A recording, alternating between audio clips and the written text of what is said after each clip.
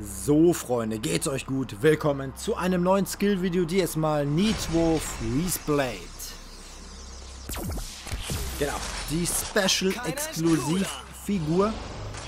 Und ähm, einige fragen sich jetzt, warum skillt er den nochmal? Ja, Freunde, ich habe ja in der letzten Skillung von ihm gesagt, wenn ihr die anderen Wege auch sehen wollt, dann ab damit in die Kommentare. Und viele haben gesagt, ja klar, her damit. Und ähm, ja, war eigentlich auch klar gewesen. Ne? Und ähm, da dachte ich mir so, komm, dann machst du halt mal fertig sofort auf dem Freien, damit ihr nicht so lange warten müsst. Und ähm, was mir aufgefallen ist, was ich ganz cool finde, guck mal hier, wenn man hier so springt, ne, das sieht aus wie so ein, ähm, wie so ein, so, so, so, so ein Skispringer da, ne? Wisst ihr, was ich meine? Die da von die so Schanzenspringer da. Das sieht richtig gut aus. Guck mal, finde ich richtig gut.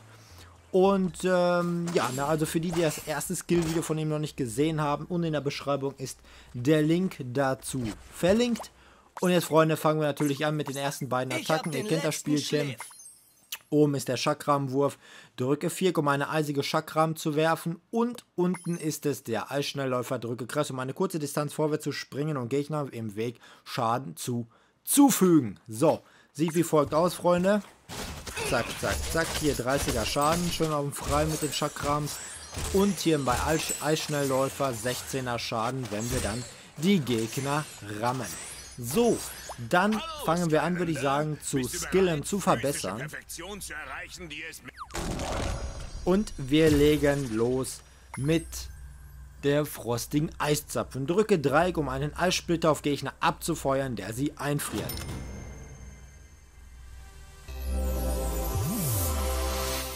So, das Ganze sieht wie folgendermaßen aus. Und zwar haben wir hier so einen blitzschnellen Eisschuss, den er macht, außer Augen. Und ähm, zieht jetzt schon auch 30er Schaden ab. Und ähm, an dem Figürchen, hier kann man das nicht sehen, dass man die einfriert. Aber ihr seht es hier für so eine Sekunde, können wir Schafe einfrieren. Und ähm, ja, das ist natürlich schon ordentlich cool, dass wir damit dann Gegner einfrieren können. Zwar nur eine Sekunde, aber in der Sekunde können wir halt nochmal schön einfrieren draufballern. So, danach haben wir Eiszapfen. Chakram erhält eine neue Eisschicht, wodurch Angriffe mehr Schaden bewirken. So, das brauche ich euch jetzt nicht zeigen. Ihr seht es, ähm, dort ist diese Eisschicht jetzt anders, ist mehr so Eisdampf. Ihr seht es da.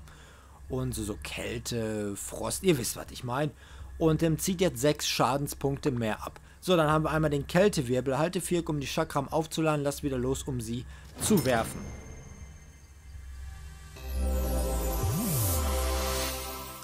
So, das Ganze, bevor wir uns den Weg wählen, sieht wie folgendermaßen aus. Wir halten hier gedrückt, ihr seht es hier. So, wir können auch so lange aufladen, wie wir wollen. Das wird aber nichts daran ändern. Dann geben wir Gas und ihr seht es, ähm, ja, dieses Chakram sucht sich ein Ziel. Und auf diesem Ziel bleibt sie dann ähm, ja, ein bisschen und zieht immer 12 Schaden ab. Also sind auf jeden Fall definitiv über 50er Schaden. Aber man sollte bedenken, man muss ja erst aufladen. Und in der Zeit kann man natürlich hier schon ordentlich seine Chakrams werfen. Ja, ist immer so eine Sache. Also muss man immer abwiegen, wie viel Zeit man zum Aufladen hat. So, dann kommen wir zu den Wegen. Und zwar haben wir beim ersten Video Schneesturmklinge geskillt und jetzt sind wir bei Eisbildtower. Friere Gegner mit neuen starken Gefrierstrahlfähigkeiten in ihrer Bewegung ein. So, das Ganze sieht wie folgt aus. Fermale Schneid. Halte Dreieck, um frostige Eiszapfen aufzuladen. Lass wieder los, um einen ganzen Bereich einzufrieren. Das heißt, ähm, ja, das können wir wie die Chakrams auch aufladen. Jetzt machen wir das dann halt über Dreieck. Werden wir mal sehen. Ja, da sehen wir es nämlich. Dort guckt er durch die Chakrams. Und durch die Chakrams haut er auch ordentlich da so einen raus. Zieht 30er Schaden ab. Und ihr seht es, die sind, äh, die Gegner sind jetzt dann für längere Zeit eingefroren. Da hat man es gerade bei den zwei Schafen gesehen. Also jetzt mehr Schaden bewegt es auf jeden Fall nicht, aber ihr seht es, die sind dann hier eingefroren und dann kann man noch ordentlich draufhauen. Also jetzt sind die so zwei, drei Sekunden halt eingefroren. Ist jetzt nicht sehr, sehr viel mehr, aber es ist doch schon ganz gut für Duellkämpfe und so kann man ganz schön den Gegner ärgern. Dann haben wir cool, dich kennenzulernen. Frostige Eiszapfen und Vermale Schneid. Ich hoffe, ich spreche das richtig aus, Vermale Schneid. Ähm, bewirken mehr Schaden. Okay, schauen wir mal. Frostige Eiszapfen war ja 30. Dieses Vermale Schneid war auch 30. Dann haben wir jetzt 40er Schaden und beim Aufladen haben wir auch 40er Schaden. Und das muss ich aber sagen, habe ich gerade gar nicht gesehen. Guckt euch das mal an, diese Reichweite davon. Zack, die geht ja über 3, 4 Gegner. Das ist ja schon ordentlich krass. Da habt ihr es gesehen. Das zieht jedes Mal 40 ab. 60er ist der Maximalschaden. Das ist natürlich schon eine ordentliche Nummer, sag ich mal. Deswegen, also das passt schon. Zack. Wow, nicht schlecht, nicht schlecht, nicht schlecht. Aber wenn man mich jetzt fragt, bei dem oberen oder unteren Weg, würde ich immer auf den oberen Weg machen, weil diese Chakrams finde ich doch ein wenig besser. Dann haben wir Winter-Chakram. Chakram-Angriffe haben eine erhöhte kritische Trefferchance und verursachen zusätzlichen Frostschaden. Das ist damit auch seine Seelenstein-Fähigkeit, die Freeze Blade erlernen kann. Und jetzt kommen wir dann zum unteren Teil. Und zwar Eisspur. Beim Sprinten bleibt eine Eisspur zurück, die Gegner verlangsamt.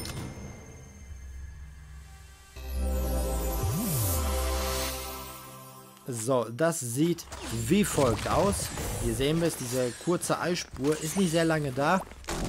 Aber halt, Gegner zu verlangsamen, ist das schon ganz schön ordentlich. Dann haben wir Gletschermantel, verstärkte Rüstung, hart wie ein Eisblock.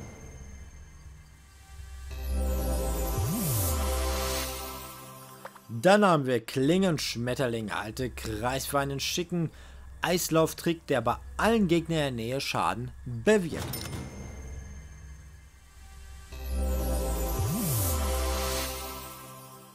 So, bevor wir den anderen Weg wählen, werden wir uns natürlich das erst einmal ansehen. Und zwar sieht das wie folgt aus. Wir halten mal Kreis gedrückt. Und da seht ihr es, zack, tritt er so mit seinen, ähm, ja, mit seinen Kufen, heißt nicht Kufen, ich glaube ja, ähm, zieht 36 Schaden ab, also ist doch ganz schön ordentlich, ne? So, und ich bin der Meinung, ich habe gleich wieder zu wenig Geld, das soll aber nicht das Problem sein, dann werde ich gleich eben ein bisschen Geld besorgen. So, wir hatten bei dem letzten Video Eisläufer gemacht und jetzt werden wir Spurfrost machen. Sprint umher und hinterlasse eine frostige Spur, die Gegner, die darin gefangen sind, Schaden zufügt. Und das sieht wie folgt aus. Drücke Kreis zum Sprinten. Du hinterlässt jetzt beim Sprinten eine Eisspur, die Gegnern Schaden zufügt.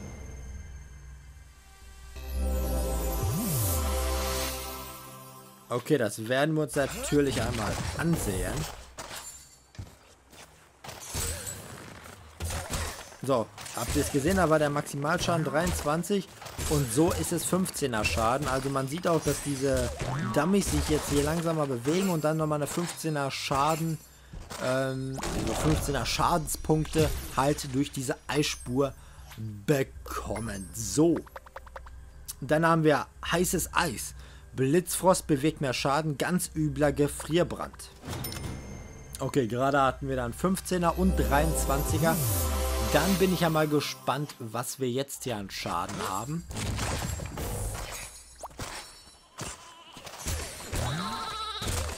Jetzt haben wir 20er Schaden.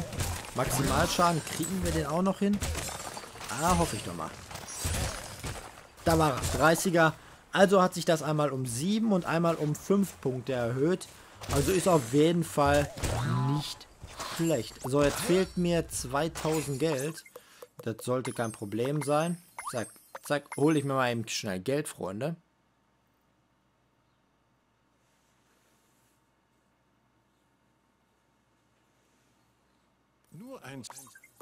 So, Holzhausen. So, und für die Leute, die sagen, ähm, ja, ne, Nitro Freezeblade ist schon cool, so als Exklusivfigur, ne, gefällt mir optisch und ich möchte ich gerne haben, den gibt es nur bei Amazon und den Link zu Amazon oder Amazon, so wie ihr es nennen wollt, ähm, bekommt ihr unten in der Beschreibung, Entschuldigung, dann ähm, klickt ihr drauf, kommt direkt zu der Figur, könnt ihr dann auch direkt bestellen. So, jetzt muss ich die mal, muss ich den Rufus mal wieder hier reden lassen. Das finde ich doof, ne? Was hat schon tausendmal gemacht und jedes Mal erzählt er dir immer noch eine. etliche Zeitmodus-Herausforderungen für dich.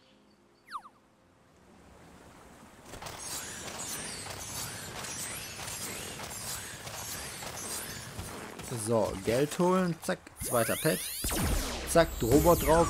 Ja, für die Leute, die diesen Geldtrick nicht kennen, da braucht man diesen Himmelsdiamant für aus diesem Popcorn Adventure Paket, ähm, Tower of Time. Und ähm, kann ich euch ja auch unten mal verlinken, das Video und ähm, das Adventure-Paket. So, und dann müsst ihr Schaden machen und durch diesen Schaden lässt ähm, dieser Dummy dann Diamanten fallen oder die Gegner. Und dadurch erlangt man dann halt seine Moneten. So, geht ganz schnell. Ihr seht das hier. Eigentlich habe ich jetzt schon genug, aber ich ziehe jetzt mal eben hier noch schnell durch. So, zack, haben wir genug. Alles klar, passt. Machen wir mal hier weg. Und du gehst auch weg. Danke dafür. So, jetzt können wir uns auch die untere ähm, Seelensteinfähigkeit erlauben. Bereit, physische Perfektion zu erreichen, die es Und zwar lautet die Eisberg-Ausdauer Sprinten bewirkt mehr Schaden und wird nicht unterbrochen, wenn man angegriffen wird. So, wir hatten ja 16er Schaden gehabt beim Sprinten. Schauen wir mal, wie viel das jetzt abzieht. So, jetzt haben wir jetzt haben wir 24er Schaden, heißt, hat sich um 8 Schadenspunkte erhöht. Und ich muss sagen, wenn ich einmal noch mal schnell gucken will. Okay.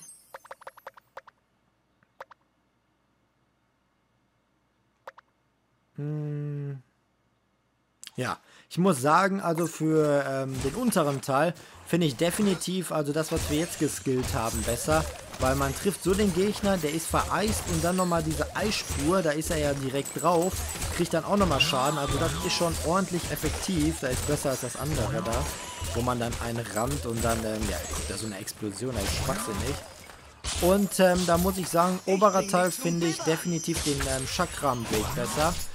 Ihr könnt ja mal gerne in die Kommentare schreiben, ähm, welchen Weg ihr besser findet. Würde mich auf jeden Fall mal interessieren. In dem Sinne, Freunde, jetzt bin ich raus.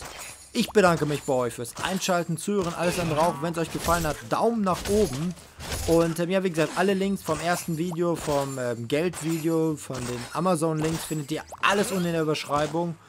Und jetzt würde ich sagen, Freunde, wünsche ich euch noch einen schönen Tag und dann bis zum nächsten Mal.